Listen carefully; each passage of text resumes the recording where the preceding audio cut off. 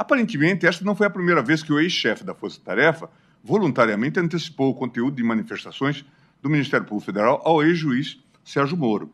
Em diálogos travados se semanas antes, o magistrado cobrou do MPF uma manifestação relativa a um habeas corpus impetrado pela Odebrecht. Em resposta, Deltan Dallagnol afirmou, afirmou Estou acabando, mas vai passar por outros colegas. Protocolamos amanhã, salvo se for importante que seja hoje. Posso mandar, se preferir, versão atual por aqui para facilitar preparo de decisão. Vou repetir, ministro Faquim, porque isto é muito sério. Eu tenho na memória, ministro Faquim, a Curitiba de 78, que atuou na a célebre palestra, a conferência da OAB, a sétima conferência, que é marco na reabertura constitucional. Não é esta Curitiba, ministro Fachin. É constrangedor. É constrangedor o que está. A não ser que os fatos não existiram. Porque se eles existiram, eles são constrangedor. Mas eu vou preferir versão atual por aqui para facilitar para o A prática de antecipar o conteúdo de manifestações técnicas ao juiz da Lava Jato fora dos autos fazia parte da rotina desta combinação. O magistrado, que ocupava a verdadeira posição de revisor técnico das peças do MPF, parecia chancelar as peças, mesmo quando o processo já havia saído da sua jurisdição. Destaca-se de novo, digno de memória, notável mensagem de Deltan ao grupo de procuradores em 21 de julho de 2017, ao advertir: vamos lá, Russo quer uma previsão das nossas razões de apelação no caso Triplex.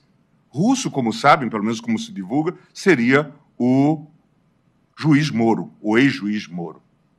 Essa atuação parece ainda mais perniciosa quando se verifica que o magistrado chegava a antecipar o seu próprio juízo acerca da suficiência de provas trazidas aos autos.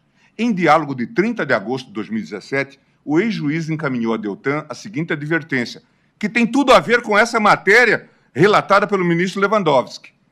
Esses sistemas recebidos da ODB, Odebrecht, Drauzio e WebDay, vocês não vão ter que enviar isso à PF para fazer laudo pericial e depois produzir laudos específicos a cada acusação. Do contrário, vai ser difícil usar.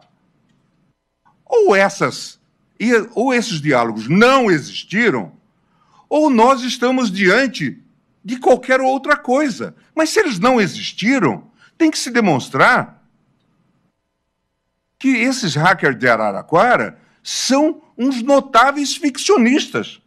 Eles escreveram tudo isso. Então, vejam os senhores o tamanho do constrangimento.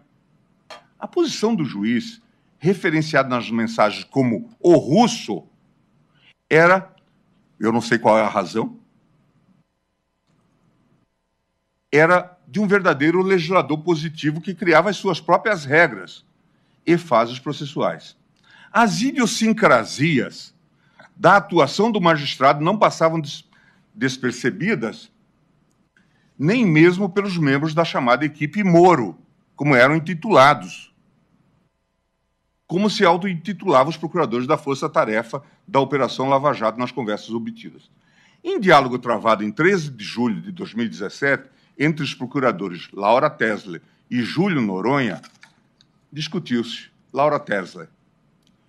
Pessoal, percebi que o Moro agora previu para os colaboradores a possibilidade de ampliação pelo juiz da execução dos benefícios previstos no acordo, caso, caso haja aprofundamento posterior da colaboração com a entrega de outros elementos relevantes. Não me lembro de ter visto isso antes em alguma sentença. Já veio antes ou é mais uma inovação do Moro? Júlio Noronha. Não lembro de ter visto isso antes também, Laurinha. Jerusa. É um novo dispositivo do Código de Processo Penal da Rússia.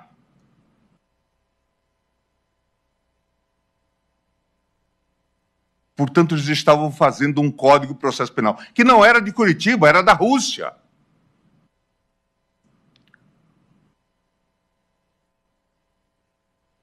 É decorar frade de pedras. A não ser que se prove que esses fatos não existiram. Essa análise não exaustiva aqui foi um pouco ao voto azul. Mostra dados muito preocupantes. Porque nós temos que fazer escolhas. Ou estamos, de fato, diante de uma obra ficcional das mais notáveis, e precisamos de um. E esses hackers de Araraquara, então, seriam um novo Gabriel Garcia Marques?